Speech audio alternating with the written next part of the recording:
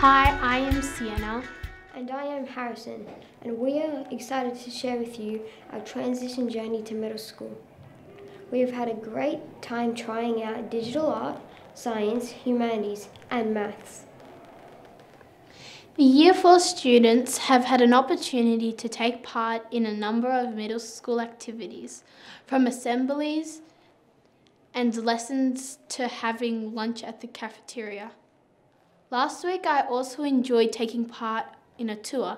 It turns out that middle school isn't as big as it looks.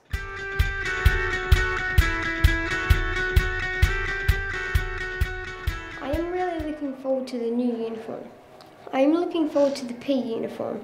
I like like most people, but I have to say that I think the whole uniform looks great.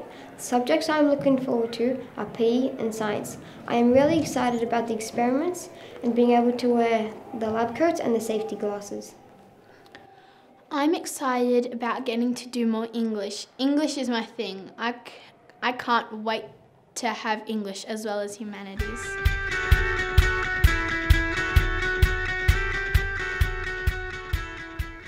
One challenge will be getting used to being the little kids again.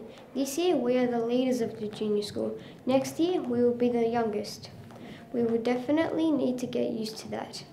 I am also looking forward to having a locker, but I know it will be challenging for me to keep it clean and organised.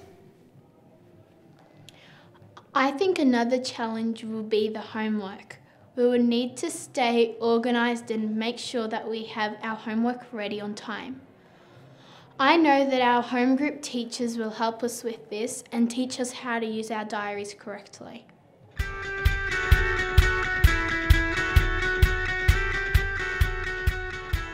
By taking part in this program, I now think of middle school in a different way, particularly the teachers because they are a lot like our junior school teachers.